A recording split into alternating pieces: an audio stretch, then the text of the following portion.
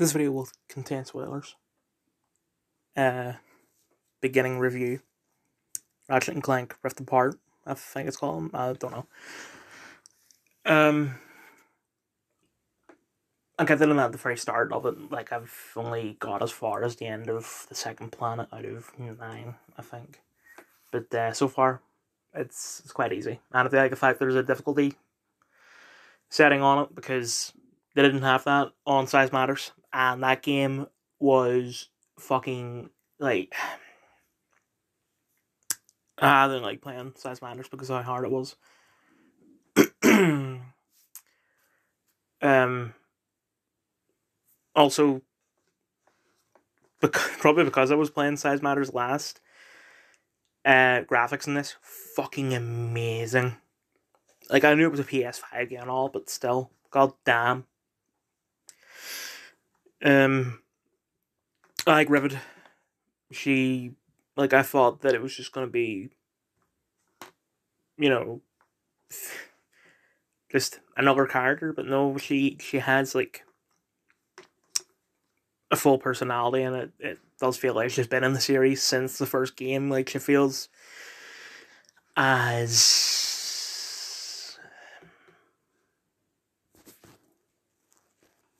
sorry about that, but she just feels like she's been there since the start.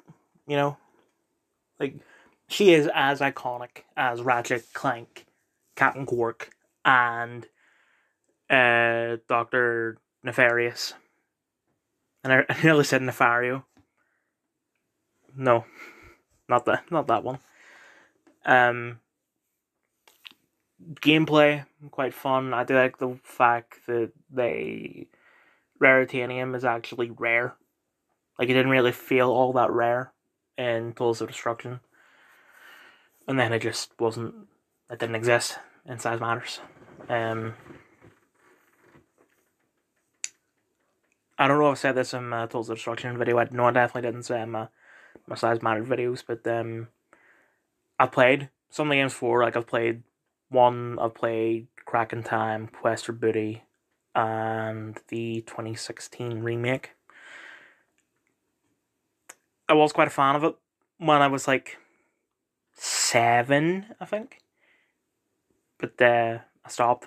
Like I got scared of Crack in Time, and then I stopped for quite a while. But uh, Tools of Destruction is me getting back into the series. It just took over a year for me to do Size Matters. Because um it would have been much cheaper for me to get PS Plus Premium and then play the games through that. But I've realized that you you can only stream the games and my internet's not good enough to do that, so I'm just gonna have to buy them anyway. But uh, you know, the only reason why I've played Size Matters is because I had premium at the right time, and then I would have bought uh, Rift Apart anyway. But it's just I got it for free because of premium. So getting it wasn't all bad. Plus, it only cost me like seventeen pound. Anyway, um, yeah, rare raritanium is actually rare, and also collectibles are marked on the map, which is great. Like, it also feels weird that um, this is the first. If you discount the 2016 remake, it's the first Ratchet and Clank game in ten years. And there also just wasn't uh, an original game released on PS4. So this kind of feels like it's a sort of legacy sequel, kind of like Kingdom of the Planet of the Apes. Um.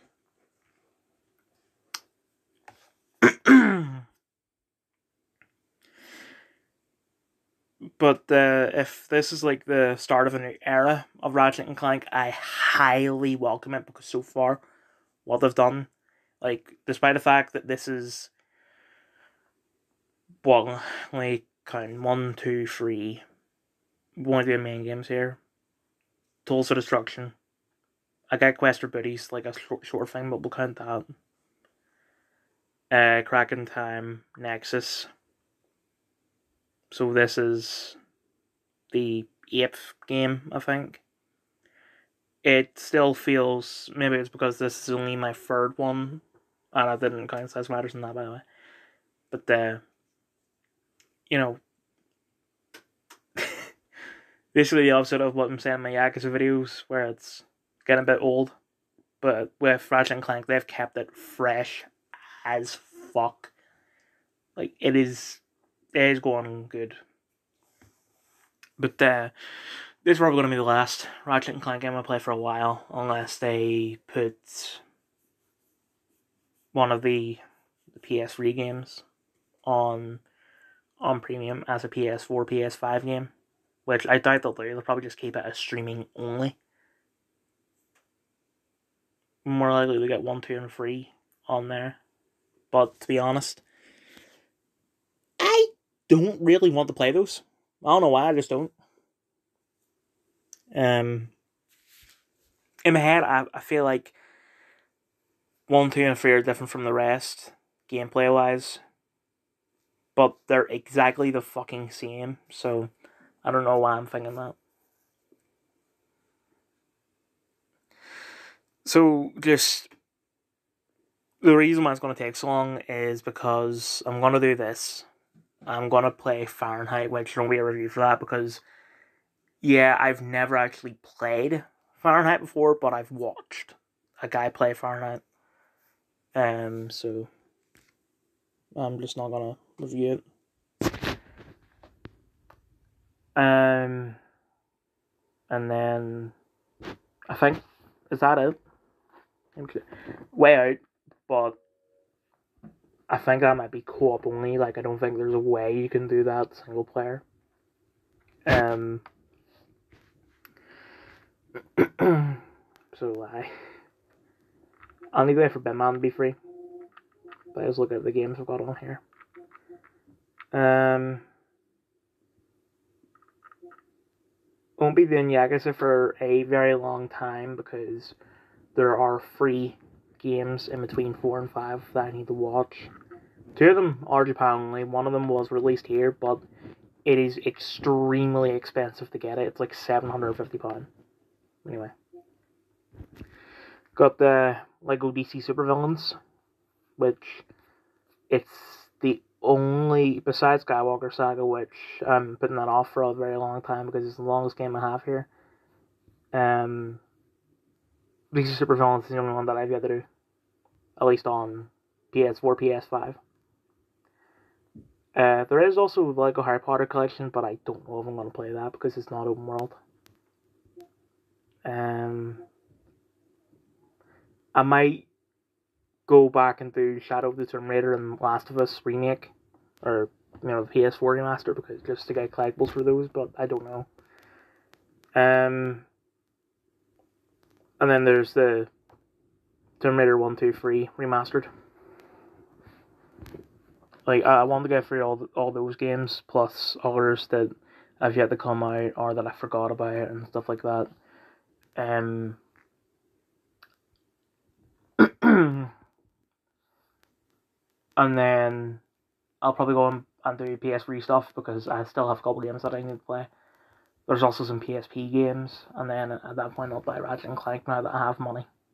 Or that now that I have a job. Um, I've rambled enough.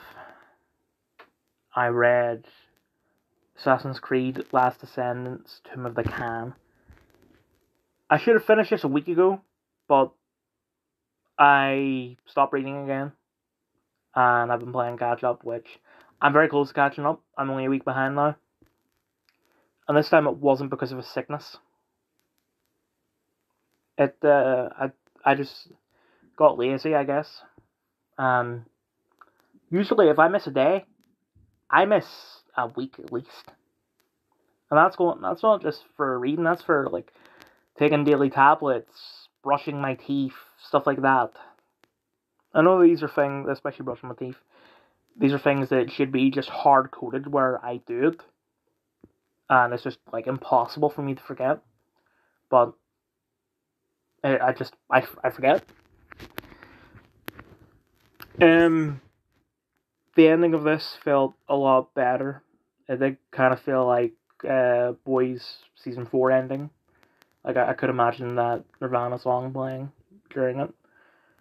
Um, but overall, I think because they spent a good chunk of it in different stories that they just it had no real relevance to the plot. It did like the the first say half of the book did feel a bit crap because you'll have like someone was in a farm, someone else was doing something else I don't really remember, and really the only simulations there were quite a few, but the only ones that really mattered were Owen's, Natalia's, and Sean's.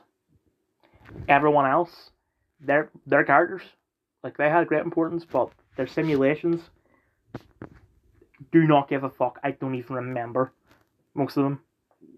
I only really remember that farm, and also David was a a pilot in World War Two. Um, excuse my stomach. I don't know what the fuck's going on. In the first book, they did this the fact that Lake Monroe was sort of neutral in the Assassin Templar War, and he remained neutral the entire time. Um, like it was respectable in the first book. In this, he can he can shove it up his ass because he he's just absolutely I'm not the kind of person to say that sitting on the fence is bad. Like I hate when people say that, but in this case, he did fuck over Natalia, and well, really everyone else because it's what led to Isaiah getting the the the fear prong. Because if it were me, if I were Monroe, I'd be like, look, I mean, I'm obviously I'm on the side of the assassins, but just I'd be saying like I'm neutral, but you can you know, if he's wanted to join the Templars or agree with the assassins. Right? Whatever. But in this, uh, they they talk about how the assassins are hypocrites because they say that you know they want people to be free, but yet they kill people. Well, those those people are the people that are restricting freedom. They need to die. Yeah, there probably are better ways, but just most of the time, killing is the only way that they can achieve that. And also, they basically just they are slaves to freedom. That sounds like something that is something from 1984. So, what's this guy's name? Matthew J. Kirby, I get I get what you're trying to do. You're doing really good work here. But what the fuck? I don't know what else to say because I'm reading the book over like a two month period, so these book reviews are really hard to do. Um, whereas for amongst other things, especially the I've been doing a lot of mini series recently. They're they've been fine, and the games as well because they despite how long they are, I do beat them quite quickly. anyway, moving on. Babes. Mixed ratings. I watched it in cinema. Ilana Glazer, Hasan Minhaj, John Carroll Lynch, Oliver Platt. I did not know that they were actual twins. I, to be honest, I thought that it was one guy that they just had playing two roles. Anyway, I wanted this because it's an Ilana Glazer film. Like this would have, you know, it's basically just Broad City without Abbi. Um, and it, it's going to be not as good as Broad City, and also it's going to be there's going to be a lot of things in it that I disagree with because I really just should not like Broad City, but I do, and all of that I just said I was right about. Um, you know the. I mean, she doesn't end up getting an abortion, which that's based, but uh, stuff like she doesn't want to like push labels on her baby. But I mean, it ended up being a boy. The baby has, or no, sorry, it ended up being a girl. Like the baby has Now I'm not gonna get in that because that's that's not really relevant to the video. So uh sorry for the app.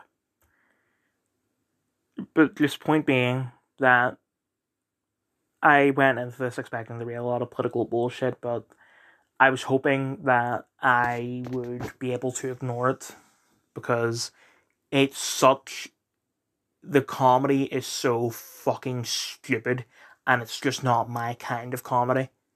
But I would somehow still like it and I ended up still liking it. Because it this it, like when I say this is like really like Broad City, it is really like Broad City. Like there were two old people sitting in front of me and I think they went into this expecting, you know, you're just a average comedy film. Because these people aren't going to know who Ilana Glazer is, they're not going to know what Broad City is. And I expected them to leave, like, partway into it. Because they were so offended by, or not, not really offended, but it's just like, they wouldn't, they wouldn't like it. And there would be probably some bars to be offended by. But no, they they stayed. I don't know if they liked it or not. They didn't really laugh all that much, if at all. But they stayed through the the entire thing. Um. And again, I do even if I don't like films. But there's this one scene I can think of where um Ilana asks Dawn, a character, and Dawn just sort of like looks at her and goes, bitch. And then Ilana goes, bitch. And then they just keep on saying bitch to each other and weird and different ways and it it's just it has Ilana Glazer trademark on it. Which it's so unfunny. Just period. I didn't like that scene, but quite a few bits. I was just able to ignore her Ilana Glazerisms. And just it was uh was a decent film. I'm not hating on, on Ilana Glazer, by the way. I, I fucking love Broad City. It's just her style of comedy is not for me. Before we move on to Defending Jacob, I just wanted to mention one more thing. See, even though we had very little screen time in this, seeing Oliver Platt in it was really, really weird because me and Ben Man have been watching uh, The Bear recently, and his character in The Bear versus his character in this, total opposites. Which um, I didn't, you know, I wasn't thinking that Oliver Platt doesn't have range. Like, he's usually the sort of sidekick, I guess, like in Love and Other Drugs. But in The Bear, he was more domineering. Um, so I knew that he wasn't like just one sided, but uh, just one one end of the spectrum to the other. Like that was just it was a bit weird to look at. Anyway, final review defending Jacob. Um, to be honest, even though it's an Apple show, it, it's not a legal drama, but I thought it was going to be a legal drama. Um, and just this seems like something I would love. I went into it thinking this is going to be so fucking boring, and the reviews is going to be way too similar to my Blackbird final review. Um, but no, I, I quite enjoy it. And yeah, it just it's not a legal drama. It's just it's a drama that has legal themes to it, which is not the same because only the last two episodes are actually the, the case. Anyway. It's weird seeing Chris Evans. I don't know if I said this in the initial review, but it's weird seeing Chris Evans in a super serious tone like this. Like, you know, I've I've seen MCU and Scott Pilgrim. And I think that's the only things I've seen Chris Evans in, as far as I know. So, you know, those are all, for the most part, comedies, and even when they're not comedies, they're still a light drama, whereas this is super serious, even just from the theme music.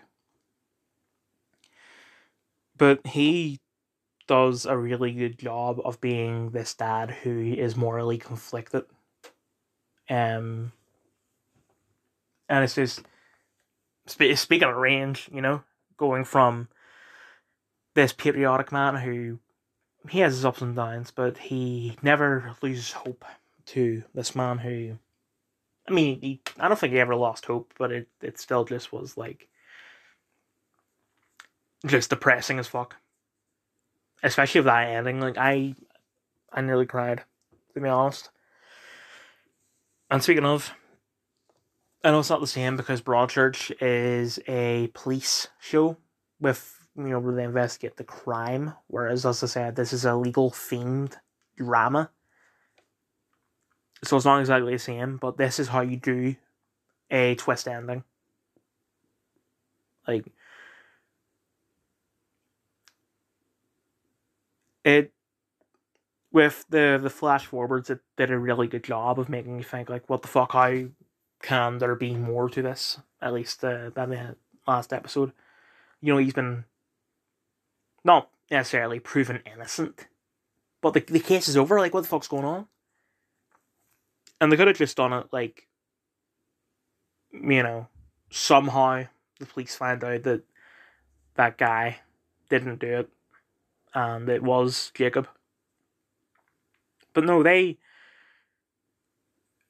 they've thrown on another tragedy, and then it just got to the point where the wife, I forget her name, she just couldn't take it anymore, and that like was not expected at all.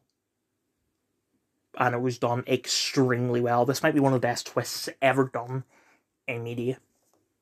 I'm I'm not exaggerating exaggerating when I say that because it's just you know I'm using Broadchurch as the example because I feel like with how they ended it at least for season one, the guy just confesses, which it's different, but there's a reason why it's not done by other shows because it's just it's anticlimactic, whereas this it's sort of anticlimactic because you're not getting the happy ending that you want, but um, it excuse me.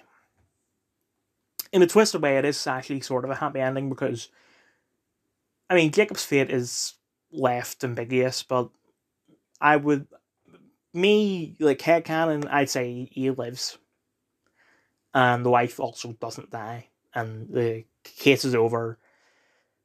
They never actually reveal if Jacob did or not, which also love. I think he did do it, but it's just in you know in the twist away. This is sort of a happy ending because they their life will never be the same, but they can still move on.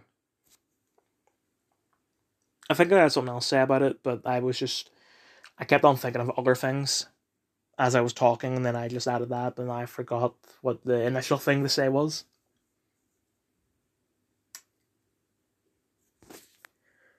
Um, cinema review coming soon. I hope. I'm not exactly sure. Uh, there won't be another book review for at least two months because, you know, t- uh, of the Khan took me two months. I think. Pretty sure it was June I finished it, and I'm now on Fate of the Gods, which is the third book in the last in this trilogy. And it's it's slightly longer than Tomb of the Khan, so you know I haven't read comics since like the middle of July. It's been nearly a month, if not a month already.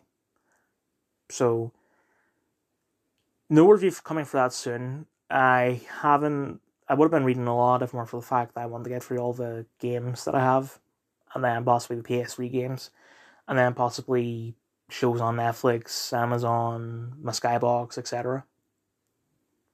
So no comic reviews coming for a very, very long time. As for show reviews, I doubt it. I'm going to go on to another mini series now that Defending Jacob is done, which there's seven episodes of that left. Um, which, you know, that was the same amount as Defending Jacob. But just it will take at least a week or two. So it's not really all that soon.